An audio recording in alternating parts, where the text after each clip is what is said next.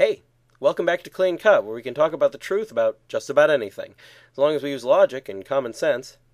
This season, we're talking about arguments for the existence of God, and this time we'll discuss the moral argument. First, like last episode, there are a few terms that might be helpful before we begin to look at this argument.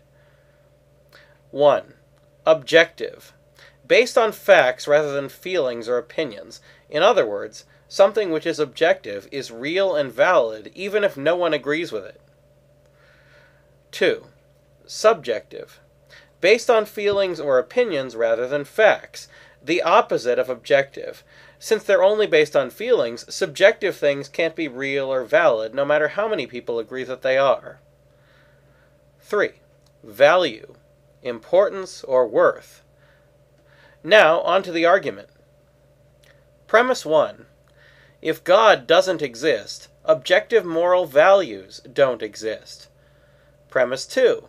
Objective moral values do exist. Conclusion.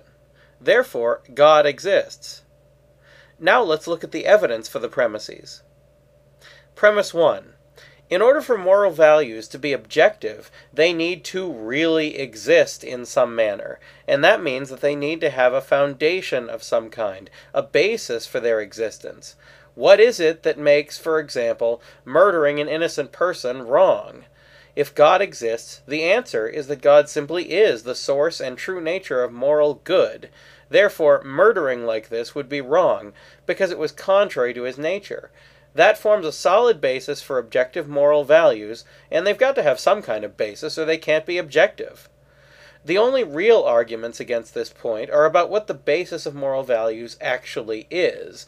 Three alternative bases can be proposed, but I'll be dealing with them in the first three objections. In any case, if God is the only sufficient basis for objective moral values, then premise 1 is definitely correct.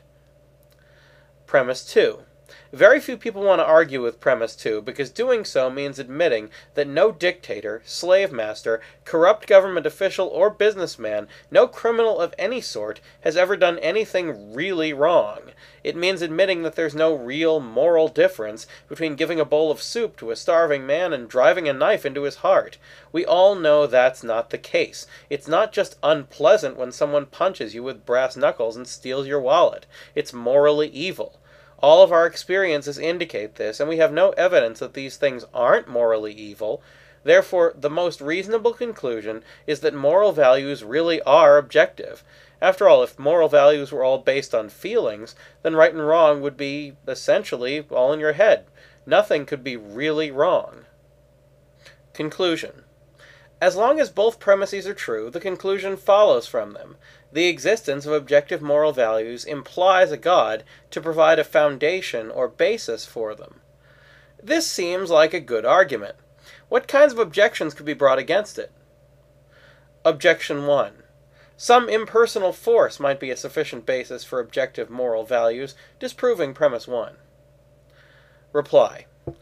In order to be a sufficient basis for objective moral values, the force in question would need to be morally perfect, and would therefore need to be what's called a moral agent. Impersonal forces, inanimate objects, and even things like plants and animals aren't moral agents because none of them can make moral decisions. For example, a rock can't choose to help someone or to get in their way. It's just a rock. It does what a rock does, but that's not a morally praiseworthy thing for the rock to do. Animals are the same way. They can't commit immoral acts because they can't make moral choices. When a tiger pounces on a wild boar, it's not committing murder. Only people who can make moral choices can even be affected by moral values. For example, when you get a 100% score on a test, you've gotten a perfect score. But you can't get a perfect score unless you have a pencil to do the test with.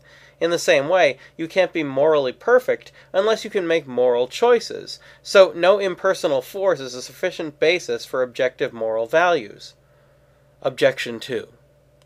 Okay, even if moral agents need to be personal, objective moral values could still be based on individual people rather than God. Reply. Which individual people? Are they based on one specific person? If so, who is that person? If not, if the claim is that moral values depend on each individual person as their foundation, then that's no different from claiming that moral values are subjective, and there's just no evidence to support that. If each individual person was the basis of their own value set, that would mean that each personal value set would be different, and therefore there wouldn't be any objective moral values after all. Objection 3. Maybe individual people can't provide a good enough basis for moral values, but humanity as a whole can. Reply. The problem is that moral values believed in by one generation of people might be different from those believed in by another generation. Which is right? Again, the values aren't objective as long as they're based on mortals. Also, this claim turns moral values into a cultural trend. If you're only offending humanity by committing an evil act, how is being evil any different from being tacky? there just wouldn't be any difference between an immoral action, like stealing your neighbor's stereo, and a simple unfashionable choice, like wearing colors that clash. That's clearly not the case. Objection 4.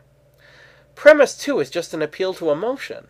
Nobody wants to admit that moral values are subjective just because it makes them feel bad. Reply. That's not true.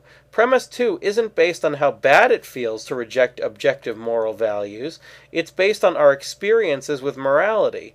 As I said in my defense of the second premise, there are many absurd implications if you reject objective moral values, but it's not about how those implications make you feel. Objection 5. This is just an ad hominem argument. Even if a person believes that God doesn't exist and becomes an atheist, they can still do very moral things. Reply. Sure they can. But this argument isn't about whether belief in God is required for moral values.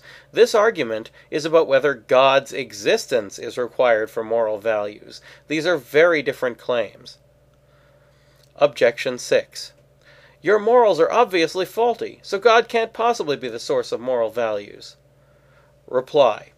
This objection is just an argument ad hominem. Even if I'm completely wrong in some or even all of my moral positions, that doesn't invalidate this argument. Even if you could prove that every religious believer in the world was wrong on some moral issue, that wouldn't disprove this argument. In fact, all it would prove would be that it's possible to be wrong on moral issues, and therefore that premise 2 is correct, and moral values really are objective. So it follows that God is the best explanation of the existence of objective moral values, which is a strong reason to believe that God exists.